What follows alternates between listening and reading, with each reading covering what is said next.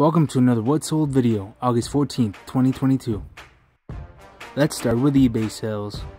Sold some Squinkies. Picked them up at a yard sale not that long ago. Bundled them up and probably paid under a dollar.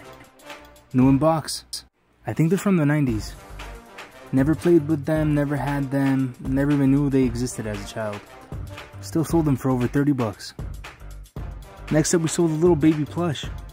It's either a horse or a donkey. Got this at the Benz for under a dollar. Sold it for $21.25. This guy's going overseas. Don't ask me where, but it's probably somewhere in Europe. Or Mars. Super soft and smelled pretty clean. I don't even know how to pronounce that. Sold a grasshopper hand puppet. From 1995. He was in overall decent condition. Spent under a dollar and sold him for 15.